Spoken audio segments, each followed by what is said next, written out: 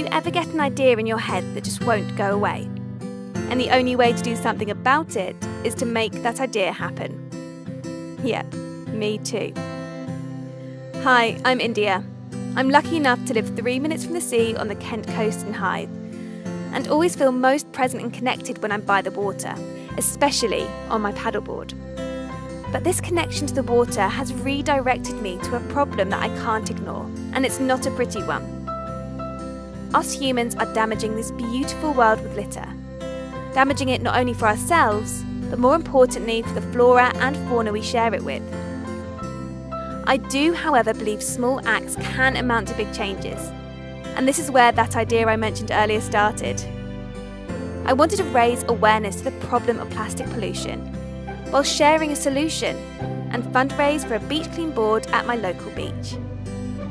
And so I packed up my paddleboard and litter picker and made my way to the start of the Royal Military Canal in East Sussex to paddleboard the 28 mile length, litter picking as I went to raise awareness to the problem of plastic pollution and raise funds for a two minute beach clean board and Hythe.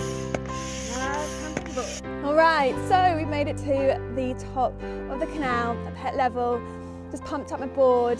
It's just started raining, but it's only meant to rain for the first, I think like half an hour or something, and then a bit of cloud, and then hopefully the sun will break through. Now we're just gotta get this show on the road.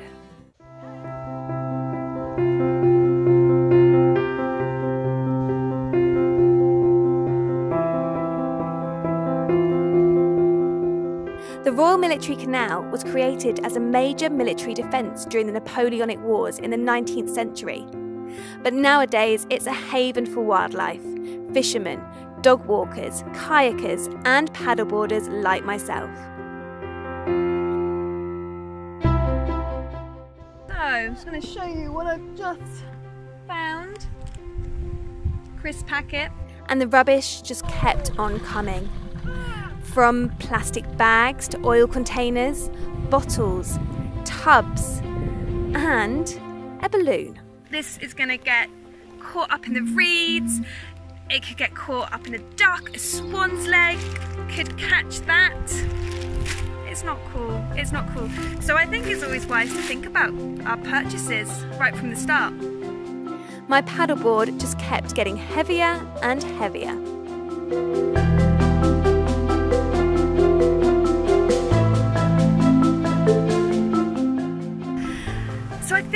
Over the halfway mark now, which is awesome. So I thought I'd show you what I got on this stretch. Now this, hmm, looks nice. There is a lot of stuff growing on it, which means I think it's been in this canal for a long time. Um, it's pretty gross. Don't worry, I am sanitising my hands as much as I can. Um, and the main culprit on this stretch has been plastic bottles, plastic water bottles, whatever. It's just so unnecessary nowadays. Um, we can use reusable water bottles, especially in the UK. It's fine, we've fresh drinking water. All right, on to the next stretch. Now, if someone could explain to me how a tyre ended up in the Royal Military Canal, then I would love to know.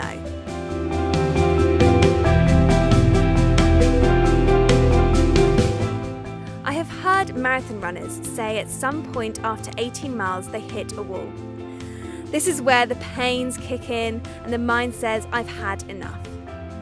Well, I was pretty much paddleboarding a marathon, and it was at this point I felt myself paddling closer to that wall. Everything hurt. The adrenaline that carried me through was burning off, and the wind had dropped. That beautiful southwesterly wind that had given me that extra push for most of the trip so far had died down.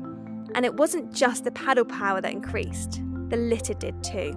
Look what I found on my way. So this is full-on fisherman's waders with Wellington boots. Now, I'm kind of hoping that there's not a naked fisherman that went skinny dipping now has no clothes.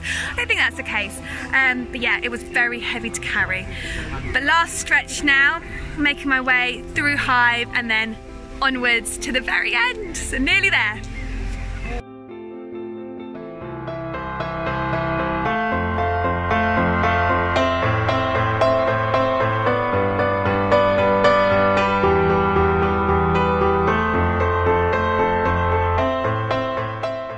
Was no surprise that as I ventured closer to Hythe Town, I found more litter.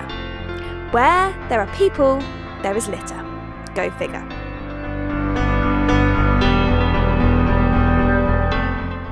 I wanted to do this paddle to raise awareness surrounding plastic pollution, but also to fundraise for a two minute beach clean board on Hythe Beach that would encourage the community to do a simple two minute beach clean when they walk past. It was amazing to see faces of people who had donated to this.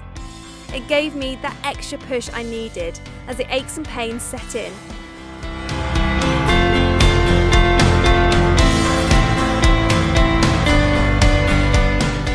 This paddle mission had given me time to reflect on the state of our planet and humanity's impact on it. I do believe small acts can amount to big changes. And if we can all make conscious choices that are kinder to the environment, we can collectively make big changes together. So here it is, everything that I collected along the way. I have to say it's not everything I saw. There were some points when I had so much on the board that I couldn't carry anymore. Um, but it's a very good variety of what I found. It's mad and it's so sad to think that this is in the canal a lot of the time. I think it's just a sign to say take your rubbish home with you. Think about what you're buying. Think about if you can choose alternatives that aren't in plastic. Thank you so much for your support and um, yeah, you need to sort all this out now and then head home. All right. Bye.